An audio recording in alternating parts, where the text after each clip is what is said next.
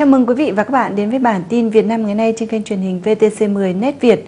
Chương trình ngày 7 tháng 6 năm 2013 có những thông tin chính ngay sau đây. Tổng cục Du lịch triển khai chương trình kích cầu cho ba tỉnh Ninh Bình, Hà Nam, Nam Định. Làng cổ Phù Lưu, Bắc Ninh, nơi vẫn còn đó những dấu tích xưa và tình cảm gắn bó làng xã bền chặt là điều níu bước chân những người con xa. Kỹ sư Nguyễn Thượng Sách, người sáng tạo ra những sản phẩm lưu niệm bằng đồng mỹ nghệ, đậm sắc màu văn hóa Việt là nhân vật của sứ giả văn hóa ngày hôm nay.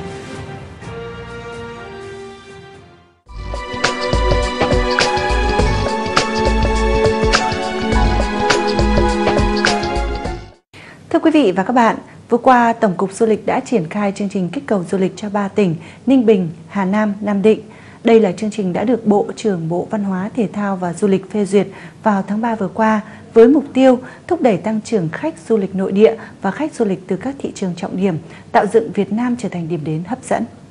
Nội dung của chương trình kích cầu tập trung vào việc thu hút khách du lịch quốc tế, giới thiệu quảng bá hình ảnh Việt Nam mà cụ thể là ba tỉnh Ninh Bình, Hà Nam, Nam Định cho các hãng lữ hành và báo chí nước ngoài. Song song với đó là đẩy mạnh nhu cầu du lịch nội địa, nhất là vào các dịp nghỉ lễ, nâng cao nhận thức của người dân, phát động chiến dịch bán các tour giảm giá vào mùa thấp điểm, đẩy mạnh và phát triển các sản phẩm du lịch, nâng cao chất lượng dịch vụ du lịch.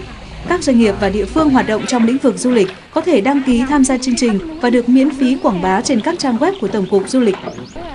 Dự kiến thời gian triển khai chương trình là vào tháng 6 và trọng tâm là các tháng 7, 8, 9 năm 2012. Ngày 6 tháng 6, Hội nghị trực tuyến toàn quốc về cải thiện môi trường du lịch Việt Nam đã được triển khai tại các điểm cầu là những trung tâm du lịch lớn trên cả nước. Theo báo cáo của Ban Chỉ đạo Nhà nước về du lịch, Việt Nam có trên 3.260 km đường biển với hàng trăm bãi tắm, trong đó nhiều bãi tắm có đủ điều kiện để phát triển du lịch.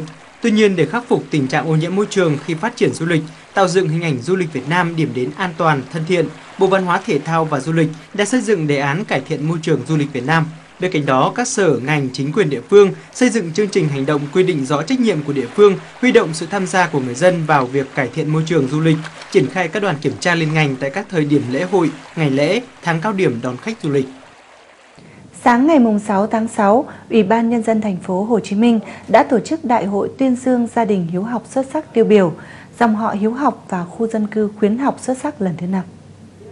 Qua 14 năm phát động, phong trào xây dựng gia đình hiếu học của thành phố Hồ Chí Minh phát triển ngày càng sâu rộng và đạt được hiệu quả thiết thực. Nhiều quận huyện đã xây dựng phong trào hiếu học rộng khắp. Các gia đình hiếu học, dòng họ hiếu học và khu dân cư khuyến học cũng đã tích cực thực hiện chương trình tiết kiệm nuôi heo đất khuyến học.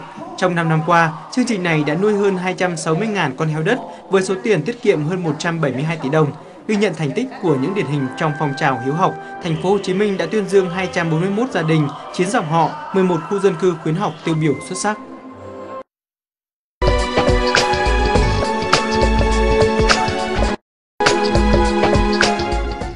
Nằm ở phường Đông Ngàn, thị xã Từ Sơn, Bắc Ninh, làng cổ Phú Lưu dẫu đã phát triển nhiều nhưng vẫn còn đó những dấu tích xưa. Và đặc biệt là tình cảm gắn bó làng xã dường như vẫn còn nguyên vẹn. Với những người con sinh ra ở Phú Lưu, dẫu sống xa quê thì tình cảm ấy vẫn bền chặt là điều níu bước chân họ trong những chuyến đi về. Năm 12 tuổi tôi đã xa nhà. Tôi tuy là có nhà cửa ở Hà Nội nhưng mà luôn luôn tìm về cái mảnh đất cũ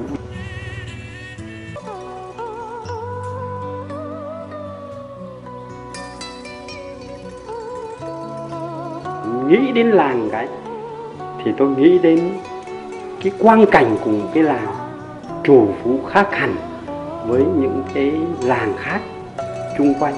Nó in sâu vào cái tâm trí của tôi suốt đời. Cái làng xóm của tôi là một làng nó quá nổi tiếng. Được nhắc đến rất nhiều trong sách vở. Làng chúng tôi có rất nhiều người làm công tác văn học nghệ thuật như nhà văn Kim Lân, như văn nhà văn Nguyễn Địch Dũng và những người đó đều viết về làng. Cho nên là những cái trang viết của các bậc tiền bối đó đã làm cho tôi càng gắn bó với làng quê. Với những người con xa quê như dịch giả Hoàng Thúy Toàn Hai tiếng quê hương luôn gợi một miền ký ức ấm áp kỷ niệm. Trải qua bao thăng trầm, làng Phù Lưu quê ông vẫn giữ nguyên những nét văn hóa tiêu biểu xứ Kinh Bắc. Ngôi làng đi vào văn học, mỹ thuật một cách tự nhiên như một hình ảnh thân quen của đồng bằng Bắc Bộ và in đậm trong tâm hồn những người con sinh ra từ vùng đất này. Những cái nhân vật, những cái tên tuổi luôn luôn nhớ được, được gợi trên báo chí. Cho nên là chúng tôi hình dung ra, mà chúng tôi lại được cái may mắn là được tiếp xúc với những cái, cái con người đó từ bé. Bây giờ họ lại nổi tiếng ở trên báo chí.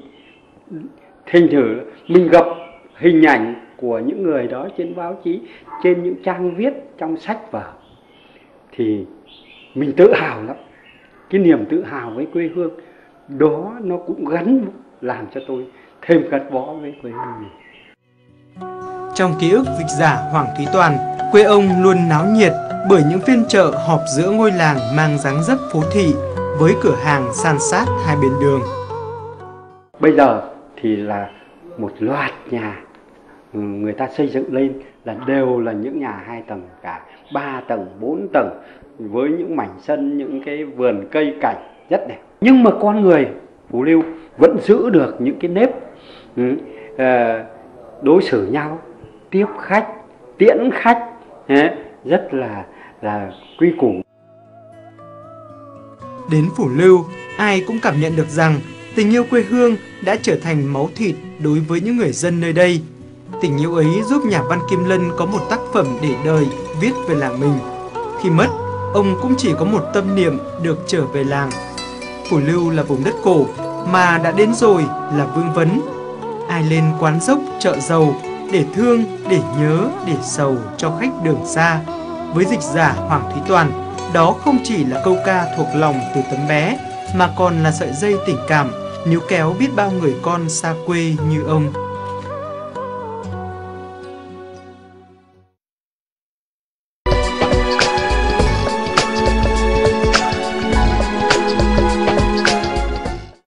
Không phải là nghệ nhân, cũng không phải là người sinh ra từ làng nghề.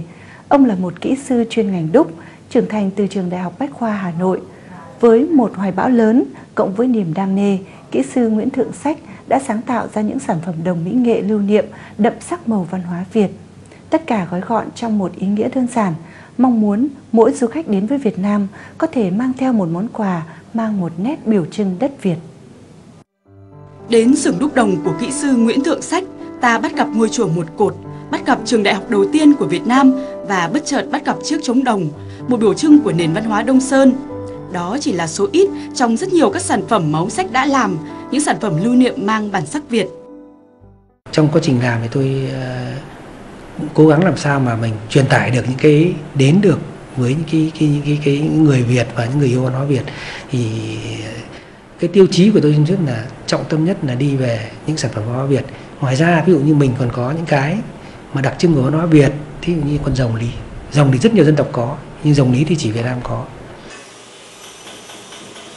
chọn cho mình một lối đi riêng trong phân khúc các sản phẩm lưu niệm bằng đồng cao cấp không phải là điều đơn giản với kỹ sư Nguyễn Thượng Sách.